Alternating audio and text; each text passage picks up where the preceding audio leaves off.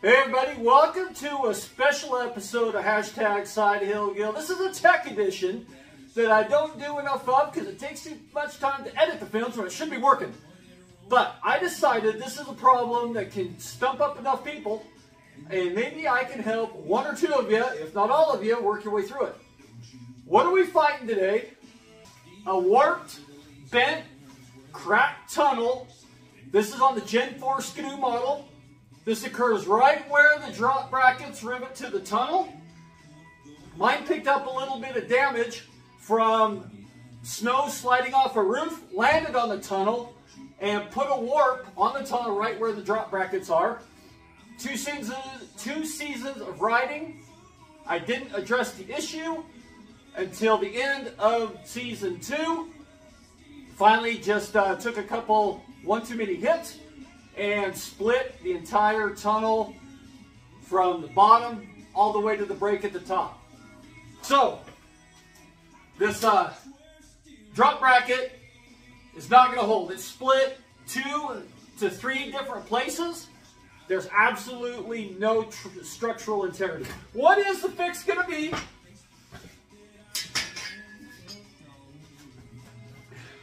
I'm going to cut spacers to go on the inside. And as far as the fix sandwiching the outside, I would love to get an external bumper with the tongue braces, such as this Mountain Armor rear bumper, which is what I wanted to put on the sled. Unfortunately, and this mirrors a lot of the manufacturers out there, the front of the bracing stops right at the edge of the drop bracket. So I need another, you know, six, eight inches to get past the, the uh, cracking on the tunnel to be able to sandwich on the inside and the tunnel reinforcement bumper on the outside. So there's what I found a few bumpers out there, it seems. I'm looking into Rogue Concepts, uh, Smith Weld, um, I believe those are the only two. I think there's one other brand that I was investigating. I haven't found out yet. So, sadly for me, because Mountain Armor is the brand I like to support, so they're a great bumper, but most of your rear bumpers will be the same. This is a notch out for your footboard angle support. So I need another minimum 6-8 inches and those two bumpers that I've seen, Smith Weld and Rogue Concepts, will get that extension that I need. So, without further ado, let's get to work.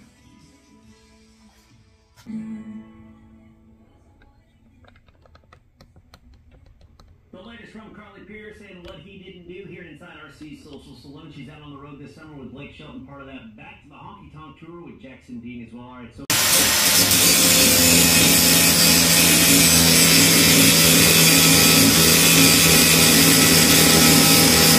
I got one underneath I forgot about. Got that one right there.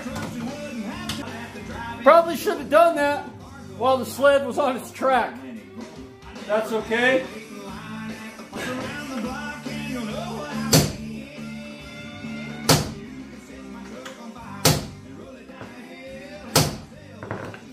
Guess those aren't quite ready to come out yet. So go ahead and get this one while I'm here, huh?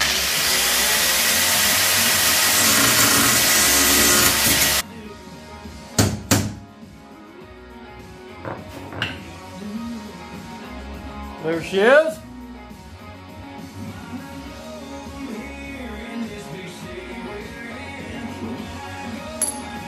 So, I'm going to work on getting this other one from the bottom side out, which I should have done while it was sitting upright.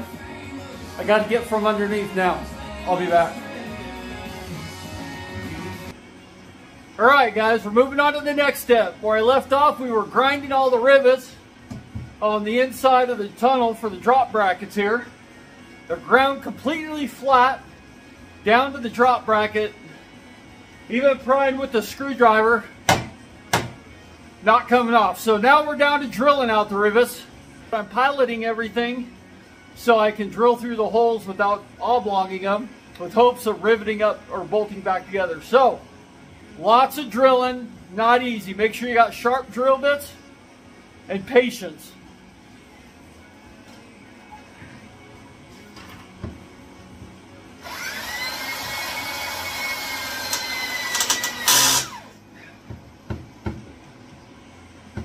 And a reversible drill. Right now I'm piloting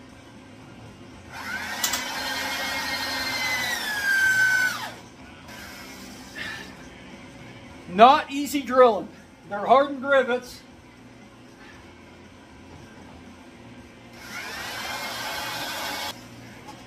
So I'll come back to you when all 10 rivets are drilled out. I should be able to pop the drop brackets off. All right, guys, like I said, slow drill speed. They're hardened, maybe even stainless rivets. Tough drilling. One little secret, drilling tapping oil so you don't burn up your drill bit. It's helping me get this stuff drilled out. Like I said, 10 rivets all together.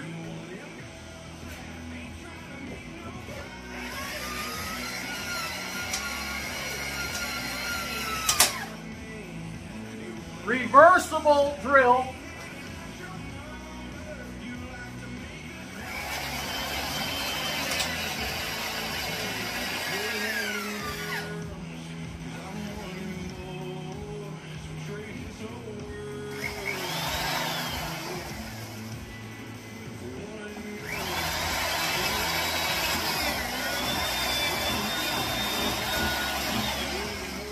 Like I said, right now I'm piloting with the smaller drill bit. All right, guys, the tunnel repair continues.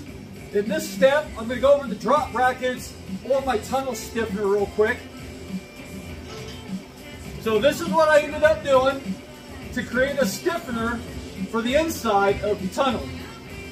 Now, the reason I've welded this aluminum onto the edge of the drop bracket is because if you tried to go over, it would leave a 1 8 gap and you have minimal clearance inside your tunnel where your track is. So if you start building thickness, you run a risk of your track rubbing on either material, rivet heads, bolts.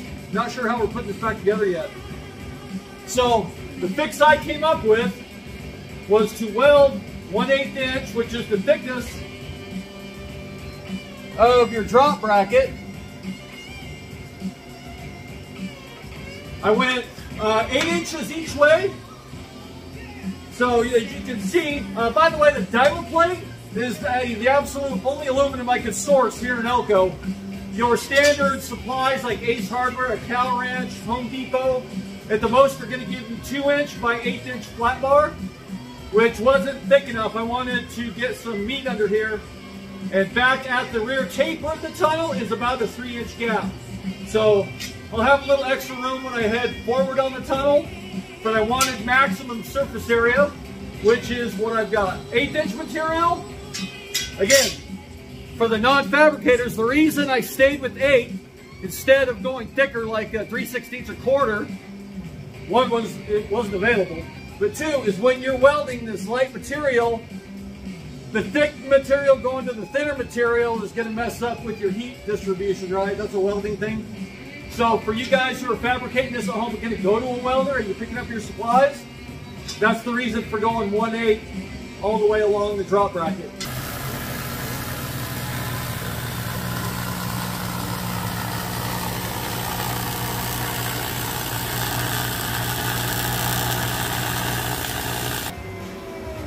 So the heat rippled the tunnel, which I, I knew was going to kind of be an issue, not a worry. One of the things I learned was as I started drilling out, starting with these lower brackets, they were about a quarter inch drill bit worth sized hole. Your hole, top four holes on your drop bracket are smaller, 3 16 rivets. So you can see the difference in the hole size. I ended up drilling quarter on one side, so I had to fill in the holes. to get back to the right size and to get those holes realigned, I'm just going to use my good drop bracket as a template. And I'll just drill straight through once I line them all up. Your bottom two holes were about a quarter inch drill bit, a 3 16 or so for your upper four for your rivets. Again, that's one side. That's the other side. So we filled everything in. I'm going to grind it all flat, drill new holes. And as I was saying, the stock rear bumpers, okay, that most everybody comes up and they'll stop right about where the weld is. So I don't have any material to sandwich.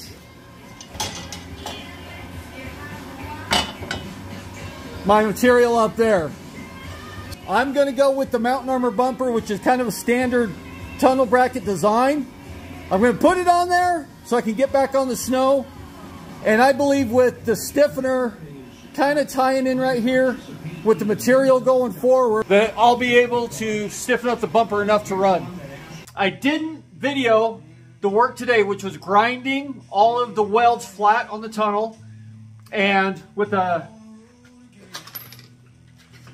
two hammers for you guys who haven't done much body work. You know, a big heavy hammer and a little ball peen. Whacking out your low spots and trying to level out all the warps and the bulges, both from welding and from the tunnel being split out, kind of curvatured all the metal. So other than just ripples and, and low spots, high spots, it turned out pretty good. What I've got going on at this moment is I put the bracket in because with everything kind of finger tight, there was a little bit of play on these drop brackets. So I wanted the axle in and the bogie wheels before I started drilling the holes through the backside. So I'm to get, I've already got some holes started where I started on the other side. Let's take a look at those real quick so I can put a picture to my references. All right, so this side I was able to catch. So I had a few holes already in place. So once I stuck the bolts into the drop brackets and the rear bogies so I could get my skid situated with everything loose, that kind of moved the drop bracket around and kind of settled it in place. That's where I started with the quarter inch hole here and I drilled through the backside these upper two holes, got everything set, and now I'll be able to continue with another 3 16 hole, another quarter inch hole, I'm waiting on these two until the running board, or excuse me, the rear bumper with the tunnel stiffener comes in play. Um, these are just alignment bolts. I got them finger tight with nuts, and I put this one in finger tight when I was placing everything. I've since removed it. Let's take a look at the other side.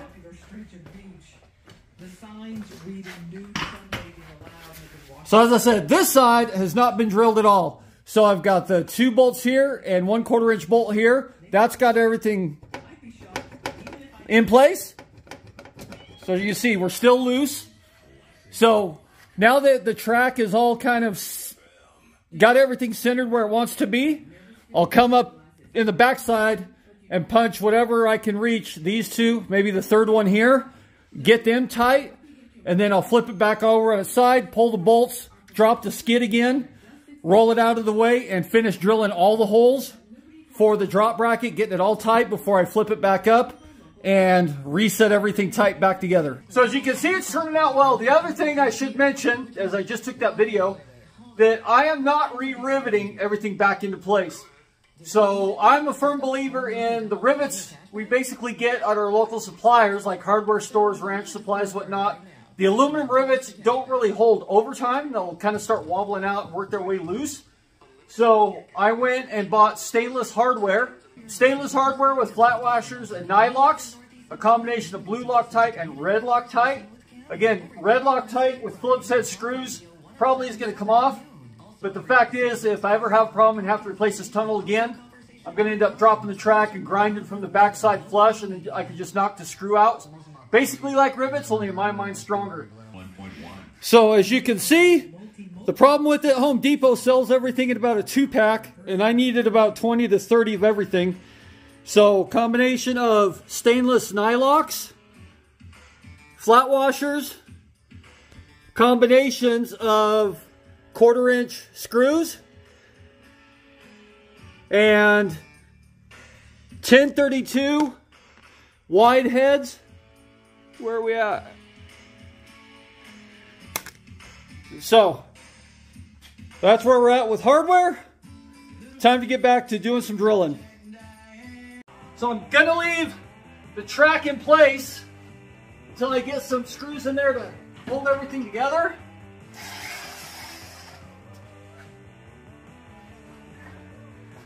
Get a little bit of light in there.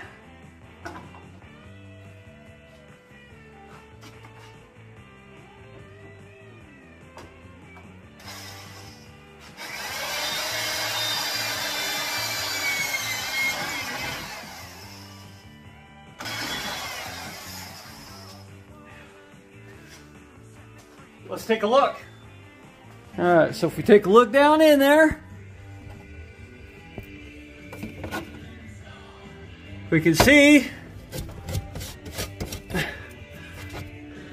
I just drilled the three holes. I'll get them tightened up right as it sits. That'll solidify the drop bracket and the tunnel stiffener. And once it is tight, we'll pop the bolt, pop the bolt, swing the track out of the way. And I'll probably start work with getting the foot stirrup back on. All right, guys. I uh, Before I started doing those bolts, I actually went in and took an hour break for dinner. And when I did so, I messed up. So as my battery light dies here, you can see the rivet right there. It kicked out my, my bracket. You can see the difference. I have a little overhang there. A lot overhang there. So even though my drop bracket was aligning with my axle, on this bracket, I actually just ground down the backside of that rivet so it would sit flush. So even though I just tightened up these three bolts, I'm to loosen everything up. Go put my light on the charger, grind that rivet flat so that the tunnel bracket or the tunnel stiffener can drop over it and help in my alignment. All right, guys, that took a couple five minutes. So, as you can see, I got my three starters in. So now my bracket's not going to move. Time to pop the bolts, swing the track out of the way, and pre-drill everything from inside the tunnel. All right, guys, I put one side together here as I've been working. So as we take a look at what's going on, you see the tunnel brace underneath. So some considerations. Got good bracing here with four 1032s and there will be two quarter inch here. So going forward, I just put two in the front, one in center. That gives pretty much a five spot, okay? Now the reason I left this one empty, I did pre-drill this hole on the top side. You can see the end of the bracket is about right here. I haven't drilled anything on this side. So, this side, I haven't. I got to flip the sled over. I will have a pre-drilled hole here. I'll leave the rest of it. Reason being, as we get the Mountain Armor bumper and kind of line up where the holes will be. Okay? You can see the edge of the bracket. It's going to come right up in here. So I'm going to put one bolt hole right in the top center of this gap. And then when we drill through this one, we should be able to hit it again. So we'll have one, two, three, four, coming through this plate. But you got to have the bumper on before you drill those holes.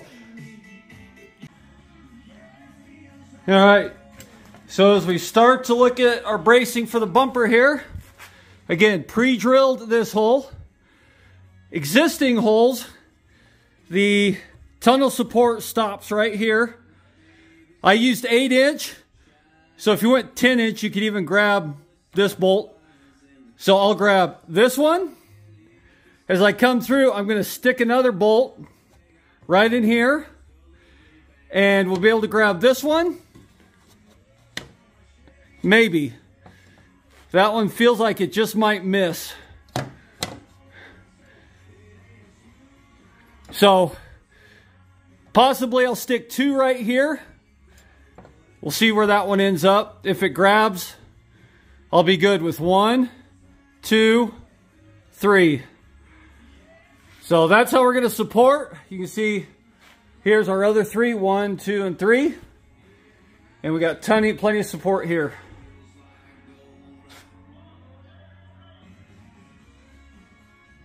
So let's take a look down inside so you can get a visual on the tunnel support. So that's what it looks like from the inside. Your aluminum is eighth inch thick off of the drop bracket. Again, I didn't stack material because your tolerances are pretty tight between your lugs. And by the time I got hardware on there as well, I didn't want to be gaining thickness. I built eight, excuse me, eight inch is the max you want to go. Call it seven, would put you a little closer. But you see the diamond plate comes right to the brake line of the tunnel. But you can kind of get a look at the hardware.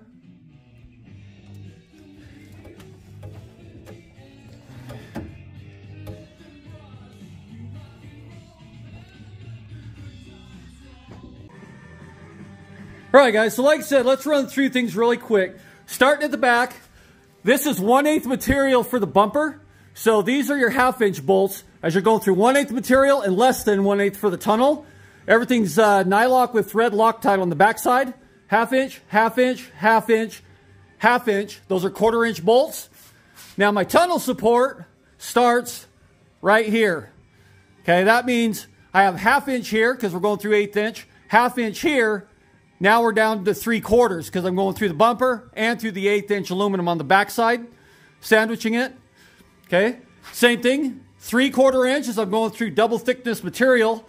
As I move up to the front, I'm only going through the tunnel support and the tunnel. So we're back to half inch, half inch, half inch with lock washers and nuts or Nylox with red Loctite. Three quarter inch, three quarter inch, you have your two bolts Oh, as I blur everything out real quick. Okay. One that ties into your, these that ties in your running boards to your drop bracket. This one ties in to the drop bracket and the support. These are both three quarter inch. And as you can see, the 1032, I got a large head versus a regular just to provide support. These are three quarter, I think I said, or did I say half? Excuse me, 1032 by half. So again, red Loctite Nylox on the backside. It's going through the tunnel and 1 8 inch aluminum, which is the drop bracket on the backside. Well guys, the Gen 4 tunnel fabrication repair is finished. So basically this was a two day job, maybe tack on three days if you need to track down a welder to do some welding for you on the aluminum. The repair came out really good. Uh, what I want to go over real quick, what you need for this job is pretty basic other than the welding. Uh, Hardware-wise, basically on a 1032 by half inch, you need eight of those. Those will be for the upper drop bracket support. We'll show you a close-up of those. You need a one quarter by three quarter 10 of those, okay? One quarter by half, you need 18 of those. And you can go with Nylox or lock washers and nuts. Now, I did everything in stainless. I got a handful of flat washers and I used them as needed to take up, you know, space. A lot of those would allow just the thread and the nut on the backside of nylock. So I used red Loctite on everything. Again, they're Phillips head pan head screws. Top a quarter inch drill bit, 3 16 drill bit, your drill, 3 8 wrench, 7 16 wrench, and a number two screwdriver. Um, some spray paint, some spray primer. You'll need yourself a reinforcing rear bumper. Uh, the only thing I haven't done is when you take your running board support off, there's two large rivets that come through the bottom about a quarter inch diameter. Uh, I ended up grinding them and knocking them through. I haven't put that hardware back in. So right now you have your top bolt on the support and there's one bolt that ties it in on the running board. I could come back later and maybe put one through bolt through. I'm going to kind of ride it and see how it looks. Pretty sturdy. Um, I wouldn't rivet it back in. Like I said, a through bolt with a, uh, some kind of nylock. Grind the head or the threads off to flush it. Red Loctite again so it can't work its way out. And uh, something I forgot to add in your tool list, you will need a grinder with some flapper disc. A hard grinder to take those welds down, flapper disc to clean them up. So I also used, as I forgot, as I mentioned earlier in the video, if you've never worked with light thin metal, you need a good heavy hammer. Get yourself a good solid ball peen. Uh, I also used a combination square, as I'm remembering tools now. So using your combination square or straight edge, you can slide up and down and use this for dead weight to hold and then you tap it. So if you've never used those kind of tools, done that kind of work, be prepared to, unless you have the fabricator, whoever welded up your sled, do it for you. So the sled's been off the snow for a year while I didn't mess with it. I bought the turbo. So this really wasn't on a priority list until I burned up the top end on the turbo two weeks ago. That pressed back into service. It is now the third week of March. It was time to hurry up and get the stock Ski-Doo 850 back on the snow and get that tunnel done.